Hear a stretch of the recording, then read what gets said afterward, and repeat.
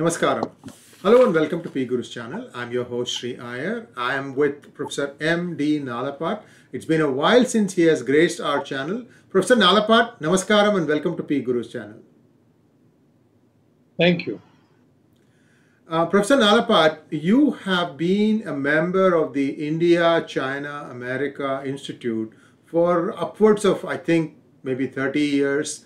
And uh, you've had uh, you know you've had friends in all these three countries. And and the shifting sands that is the relationship between these countries has you know been a bit of a mystery to many of us.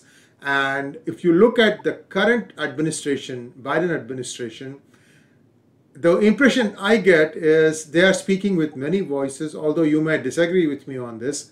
And um, the reason I'm making that assumption or a conclusion is that there is some flip-flops going on. And I don't know what's going on in China. I don't know what's going on in India, except that India is really, really reeling under the second wave of COVID that has hit it. It seems like uh, there are some struggles there. But please unravel this for us because I would like to draw on the wisdom of your experience of having been on, uh, on you know, being in touch with all these three countries. Well, Sree, uh, thank you for, for, for reminding me that uh, Dr. Jagdish Sheth, who is a good friend and a, a brilliant uh, analyst, he put me on the advisory board of India China Institute more than three decades ago. You're quite right. And I've been tracking these three countries because I do believe these are the three most consequential countries in the world. And their interplay is going to be a very significant, the most significant factor in global geopolitics. Well, you know, you and I have been discussing this matter for quite some time. And uh, I think we have both agreed that what is going on now is, in effect, uh, a Cold War 2.0. Now, people may not like to use that word. People may like to use some other word because it, it reminds them too much of what happened, uh, you know, in the case of the Soviet Union.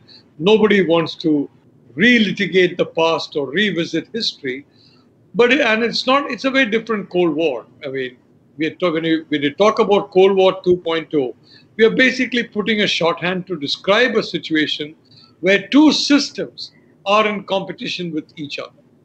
Uh, it is the, the, democratic system. It is the uh, the the system of china. I wouldn't call china a classic uh, communist system uh, it's very different from the Soviet system, for example, but it is definitely a system completely antithetical to the values, to the processes, to the principles of, uh, of democracy such as the US and India. Now, what is, why is this important? General Secretary Xi Jinping is, after Mao Zedong, the leader who I think has a very transformational view of the world. You remember in Mao Zedong's period, I mean, uh, directly and through individuals like Lin Biao, who later on fell out of failure, uh, uh fell out of, uh, if I may say so, favor. Uh, well, he was talking in terms of the, the villages of the world, that is, the poorer countries, overcoming the cities of the world, the richer countries. And these villages would, of course, be led by China. Today, China has become a city, uh, the largest, almost the largest city in the world. And I think Xi Jinping, uh, Mao believed that the world would be transformed in such a way that the Chinese Communist Party system would prevail over the system of the United States of America. Of course, he was very shrewd, he was very clever, he, he saw that China was weak at a point in time. He reached out to the United States and under uh, Richard Nixon, uh, in order to handicap the Soviet Union, the United States uh, agreed to that. They reciprocated. And frankly, the United States has been the foundation on which the growth of China took place. In fact, you know, very oddly, United States, Japan, and Taiwan are the three biggest factors behind China's success. And all three are now targets of China. It's just ironic how the, you know, the, the, history keeps moving. But Having said that, Mao was biding his time. Deng Xiaoping came. Essentially, Deng Xiaoping was a fervent communist, a Chinese communist. Uh, I mean, I regard that essentially as Han nationalism, the Han exceptionalism. The Chinese are an exceptional people, the Han are an exceptional people, and they have dominated the world in their uh, in their mind for thousands of years. For a few hundred years, that may have not been the case, but now the natural order of things must come back, and they must again dominate the world. Deng believed that, but Deng was a very subtle individual. So he, in a sense, was able to camouflage that particular ambition and and you know give a very benign presence to the world. Now you and I know the panda is actually a very ferocious animal. Uh, you don't play with pandas uh, unless you know you want to take some great risks with your health. Certainly not pandas that who are not that are not familiar with you. But if you see a photograph of a panda, or if you see a panda, it looks like the most friendly animal you can see. It looks like a teddy bear. You know, you feel like reaching out to the panda. Well, that's what Deng Xiaoping uh, did with China. Every country reached out to China. And what they did, they transferred their supply chain to China. They bought uh, goods from China. They, uh, you know, basically gave a red carpet to China to take away whatever technology was needed. Bill Clinton, who is still celebrated in the United States, frankly, in the Democratic Party. Well, Bill Clinton, for example, gave a red carpet to China to, to take, take technology while putting an iron curtain to prevent India from doing the same. Bill Clinton obviously, you know, did not understand the Chinese system or did not understand the congruence of the Indian system with the American system. Xi Jinping, in my view, is taking over from where, you know, even more than Mao and Deng.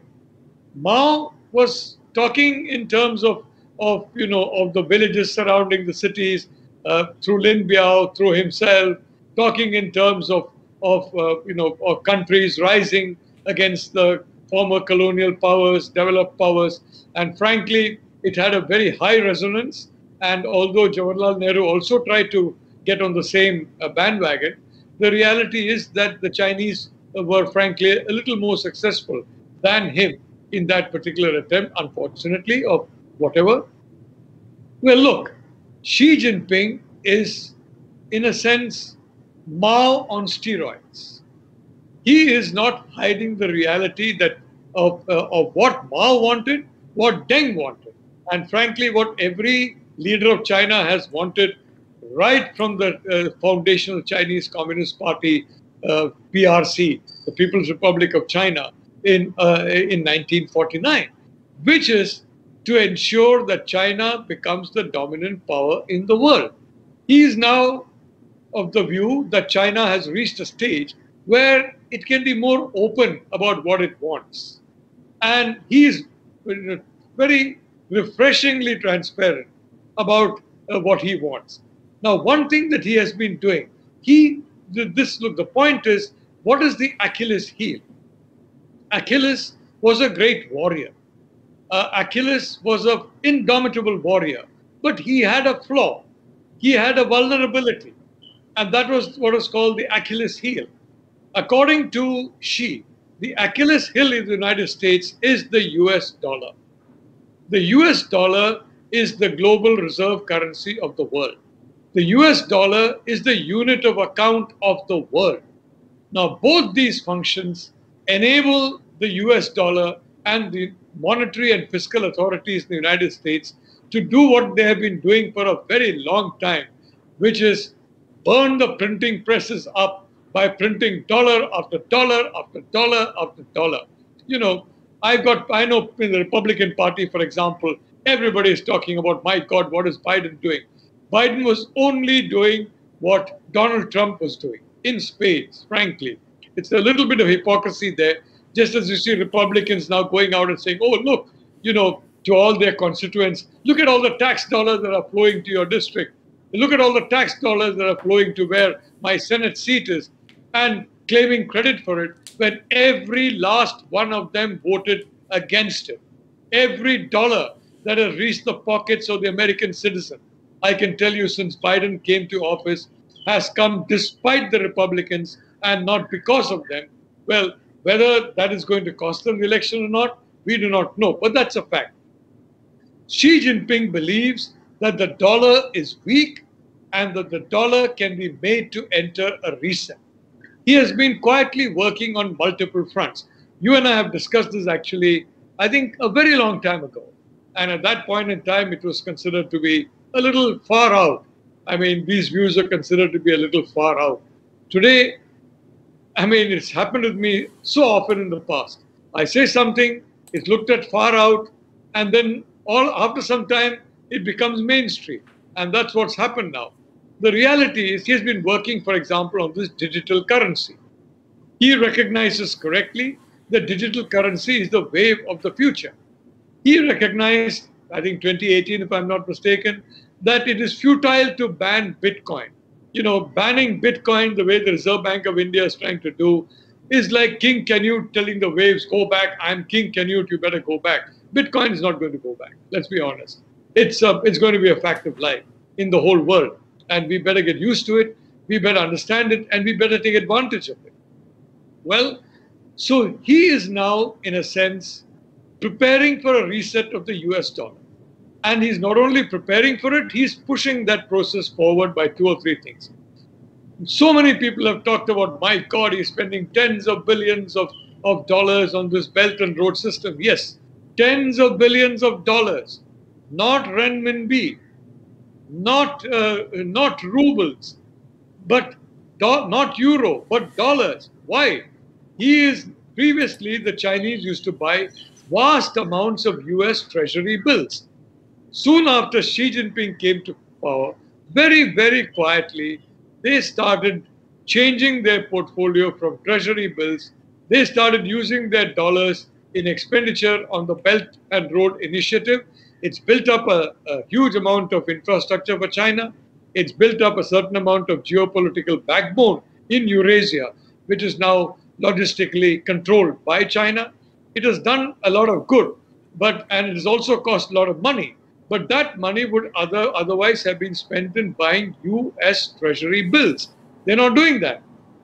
Secondly, the petrodollar petrodollar is the fact that petroleum with a certain important feedstock is denominated in dollars is a very important factor why the dollar is the universal the unit of account and that's why the dollar becomes the reserve currency of the world something which enables the fed to basically use the printing presses 24/7 and buy more and more printing presses use them also 24/7 well he's now even saudi arabia i'm told he's working out arrangements that you know you you you, you we'll buy your oil, but don't sell it, uh, but don't charge us dollars for it.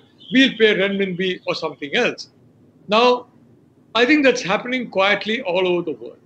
So you have on the one hand the treasury bills not being bought. You have on the second hand, on the other thing, that uh, petroleum and other goods are increasingly being traded away from dollars. Yes, Sree. Are they are the Saudis going to buy the renminbi or the digital version of renminbi? Your you know, let me tell you one thing clearly, Sree. That's a brilliant question. The reality is the digital version, two or three years, is going to be the version. And the Chinese are going to have the first mover advantage in that. Neither United States, nor India, nor Britain, any of these countries, nor Germany, and nor Switzerland, any of these countries are anywhere near the sophistication of digital currency. And what is Xi doing? He's grounding it in blockchain. Uh, you're a tech expert. I'm not. You know, blockchain is is pretty, uh, you know, reliable and it's pretty transparent. He is grounding the renminbi in that, and he has been used. By the way, from about 2013 onwards, he has been buying gold. The Chinese have been buying gold from central banks across the world, including from the United States. So he's building up a buffer of gold. He's building up a, a, a, digital currency, and he believes that they're going to have the credibility to basically replace the dollar when the expected dollar reset. I mean, my calculations, if it suddenly sharply falls by about 20%, you're going to see a panic sell off of the dollar because people all over the world have got dollars. People all over the world have kept savings in dollars, and whether you know here, there, or whatever This, and then that is going to lead to a 30 to 40 or 50, 60 degree uh, uh, fall in the value of the dollar. And lo and behold, this reset will become a reality. So Xi Jinping is working hard for that. Putin is working hard for that. The Chinese have been a little more uh, less transparent, if I may say so, a little more subtle, less transparent than the Russians. You look at RT, Russian television. It's all about how the dollar is such a shaky currency. The dollar is actually, you know, not. I mean, it, it's a, it's 130 years old. It's on sticks. It's on uh, it's on ventilator. It's on you know, you know it's on life support. This knocking of the dollar in RT is very transparent, and that is part of the fact that both Russia and China are unitedly working to bring down the value of the dollar and reset the dollar. Now, if you look at the amount of dollars that is sloshing about in the world outside of the United States, a rough estimate is two thirds is outside of the United States than inside the United States. I mean, if Xi can convince people that my digital renminbi is backed by gold, and here is all the gold, and he shows his version of Fort Knox, that would convince a lot of people to say, well, I will take it from you as long as they have some way of escrowing that gold to make sure that, you know, if in case there's a problem, I can trade the renminbi for gold in future. Is there something like that also being planned? Look, uh, the Chinese have been buying gold in large numbers, and my my suspicion is they already have much more gold than the United States has. The United States is really not bothered to look after its gold hoard. Ever since uh, Nixon, for example, took it off of uh, gold uh, yeah, peg. Yeah, exactly. Yeah. 71, if I'm not mistaken. Uh, ever since that, the Chinese have been quietly buying gold since Xi Jinping. Xi Jinping, let me tell you, look, I am very un- I think he's made one big mistake, uh, and that is that he's had this relationship with Pakistan, and in the context, he has really damaged relations with India. I think that's a huge mistake. I've been saying this for some time that Pakistan is going to be for China what Afghanistan was for the Soviet Union. But Xi Jinping is an extremely smart guy the people around him, and I met some of them, they're extremely smart people. And they are working to a plan. And that plan is now transparently that China will first dominate, the, first of all, the supply chains, the logistical hubs, everything across Eurasia. Next, the Indo Pacific, then the Atlantic. He is working to a plan very, very clearly. The question is is America, I mean, let's talk in the sense of the President of the United States, the Prime Minister of India, the system in India, the system in America, are they working to a plan? Are they even aware that there's an existential threat?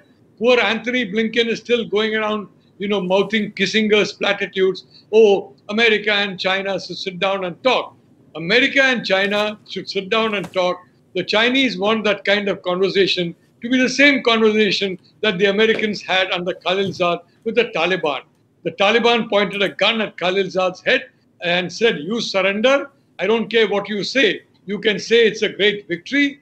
I have not surrendered. I've actually won when I've lost, but you have to surrender.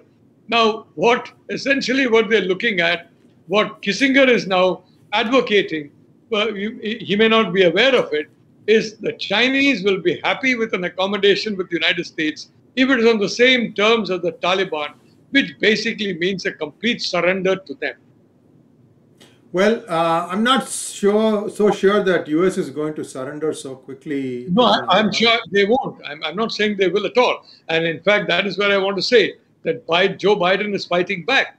In my, I am a strong supporter of this uh, of this trillion dollars uh, plus stimulus that Joe Biden is trying to shepherd through Congress. The Chinese are absolutely convinced that what I call the DINOs, Democrats in name only, will sabotage Biden.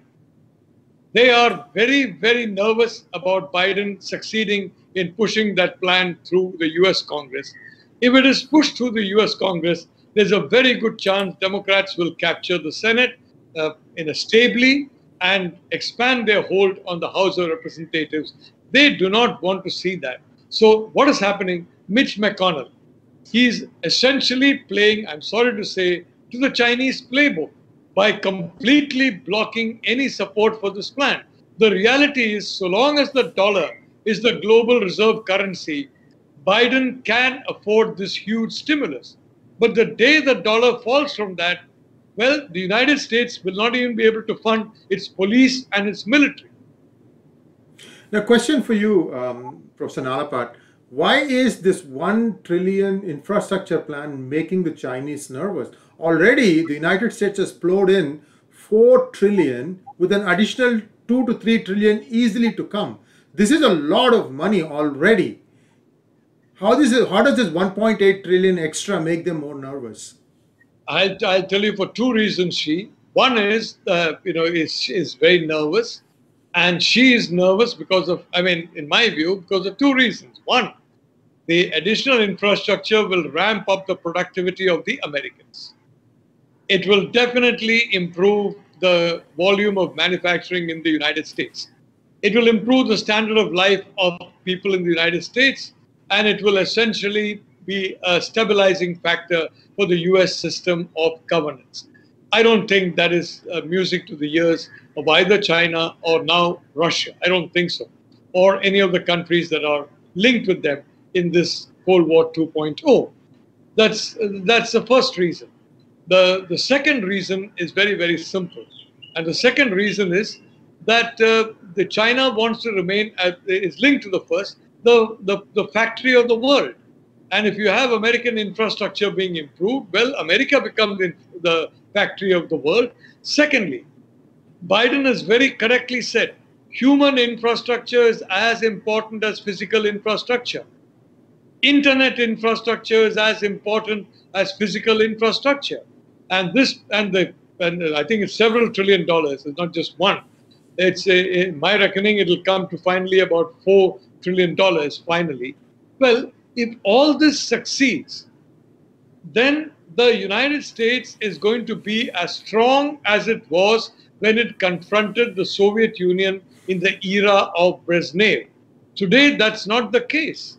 Today, the United States is gasping for air where competing with China is concerned.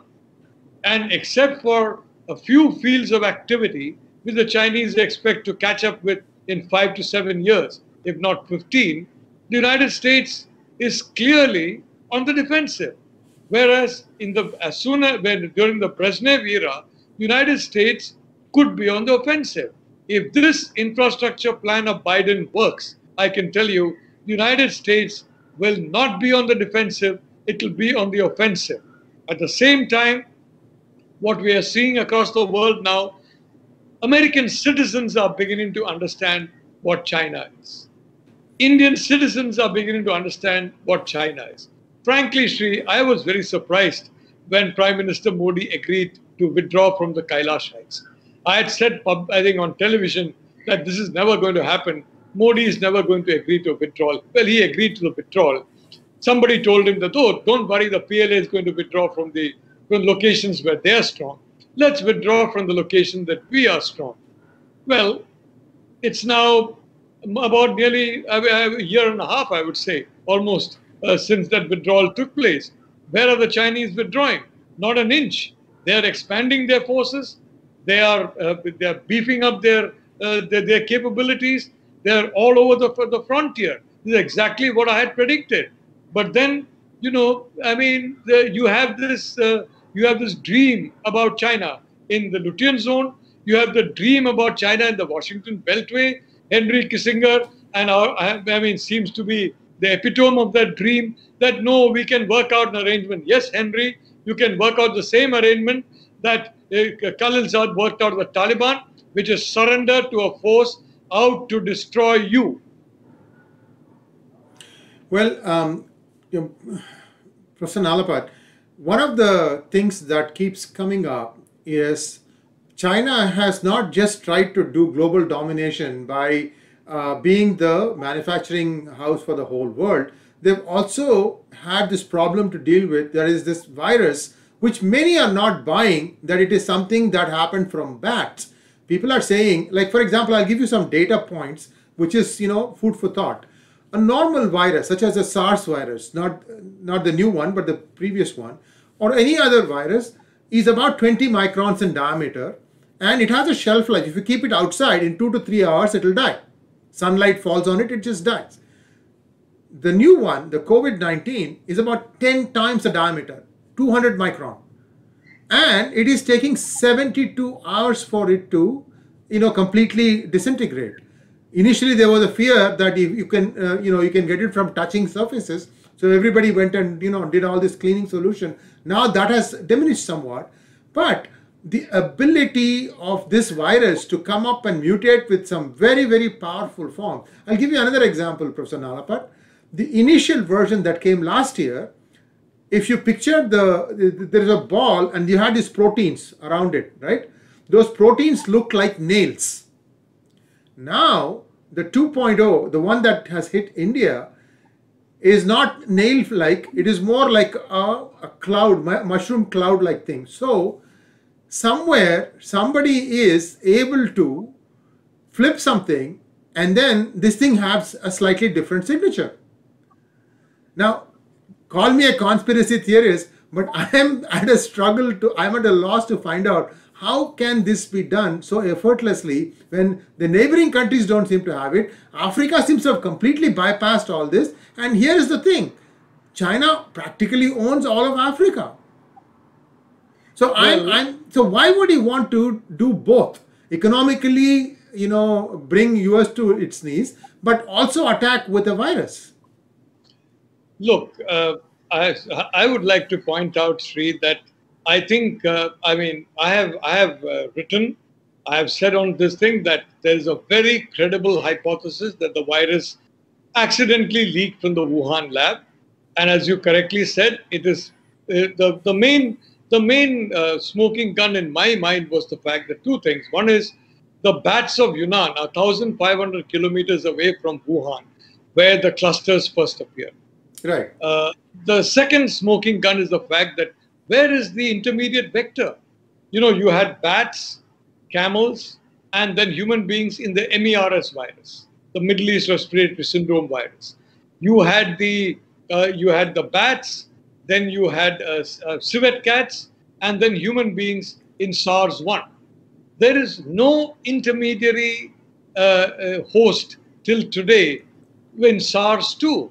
Even the, even the Chinese masters of, uh, I mean, information warfare or whatever, they have not been able to come up with a believable explanation of the intermediate vector. So you have a virus that is there in the bat, and you have no vector, which essentially means that it is very likely this virus was created in the lab. Well, I, I think uh, you know everybody who has an interest in creating that virus should thank the United States of America and the Europeans. Oh, because of that funding. part of that money came from the United States of America. And what did we find? A gentleman called Peter Daszak, very close to Anthony Fauci, the grand guru of fighting the virus, uh, Peter Daszak used to write big checks to the, the Wuhan Institute of Virology. Peter Daszak knows several people who have collaborated with people in the Wuhan Institute of Virology to develop the same virus, not a different virus, the same virus. I mean, this uh, this thing has been going on. I mean, uh, since around I would say 2013 at least. This, uh, uh, you know, the Chinese have collaborated with the Americans. They have collaborated with the Europeans. That is why Daszak got a letter printed in Lancet very early on. I think, you know, I think February, if I'm not mistaken, of last year. Oh my God, those, you know, who are talking about this being a lab leak are conspiracy theorists.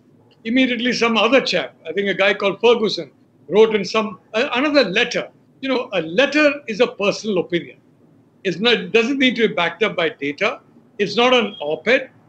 It's, it's just a personal view. I can write a letter that P Guru is the best channel in the world. Tomorrow I can write a second letter that this was the worst channel in the world. No one can hold me accountable. It's only a letter. It's only a reflection of my views. On these two letters, the entire world media went bananas and said, oh my God, it cannot be a lab leak. Whether it's CNN, whether it is BBC, whether it is, I mean, you know, you, uh, India, look, the in India, the authorities are completely reliant on the WHO.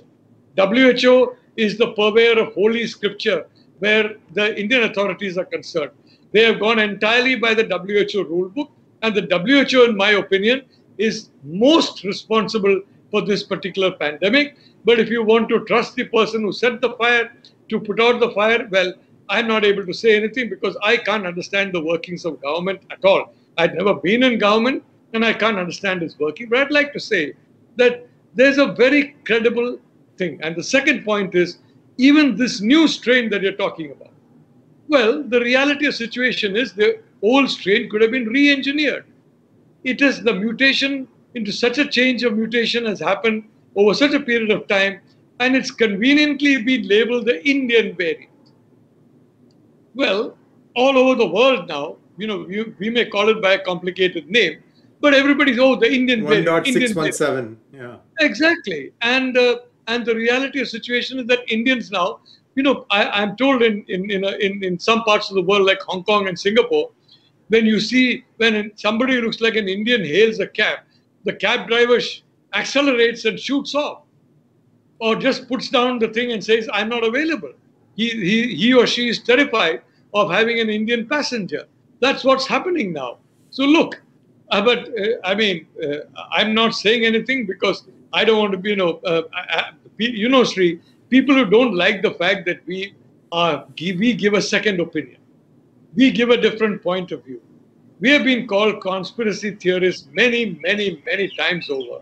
And when these conspiracies become real, and the people who call us those theorists embrace those theories, they forget about the abuse that they hurled on us. And they, in fact, some of us have had the I mean, have had the good fortune of listening to them explain one's own theory to you and say, you know, this is the situation. This is what I have discovered, quote unquote.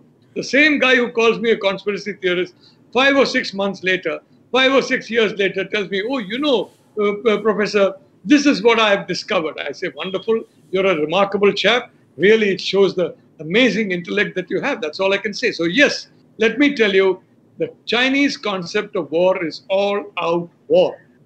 It's not guns and bullets only, as in the case of the West. It's a war involving bio, it's a war involving industry, it's a war involving human minds. And I'd like to say, in the in the in social media, you see the fringes expanding at the expense of the core in the United States, in Britain, in uh, in India, in Germany, in uh, East, uh, you know, in the European Union, the right fringe is expanding, the left fringe is expanding, the center is getting squashed. I have written in the Sunday Guardian uh, uh, on this quite a long time ago that I'm very clear that there is a calculated disinformation campaign to ensure that the fringes grow and hit the middle and they both attack each other, but more importantly, they attack the middle. Don't forget, Sree, in you know in Germany in the 19 in the 19 late 1920s, the Nazi Party and the communists collaborated against the Social Democrats. You had the Communist Party of, of Deutsch, the KPD, you know, Communist Party Deutschland, and the uh, NSDAP, National Social Democratic Workers' Party, collaborating in many places to go after the, the social democrats. Now, this is what we are seeing here. The right and the left are both compressing the middle, and they are both focusing on the middle rather on each other. And this is what is, in my view, part of it is internal, a lot of it is external, and neither in India nor in the United States have the security people woken up to that external factor in the fact that hate is now multiplying in these societies. Hate is now multiplying within the European Union. All kinds of social fissures are taking place. Nobody is taking this seriously because it's only a conspiracy theory, quote unquote. Well, um, we have to wait and see how uh, this plays out. But in my mind, uh, both you and I, Professor Nalapat, uh, we are centrists. We like to say it like Absolutely. we see it and and you know are viewers our, our viewers know who are the bright lights in the room and who are the tube lights in the room. If the tube lights turns on and then tells the bright light by the way now i'm up and this is what i found so be it. I think people have to make their own conclusions on this. But professor nalapat this was a, a great conversation. I hope that uh, some of our conspiracy theories come true sooner than the usual five to six month period because now time is actually running in, in a little bit faster. That's how i feel because every day comes with something new something more drastic. But at, let's let's hope and pray that saner sense will prevail and that uh, the world will stop and take a look at what is going on. Thank you very much. Namaskar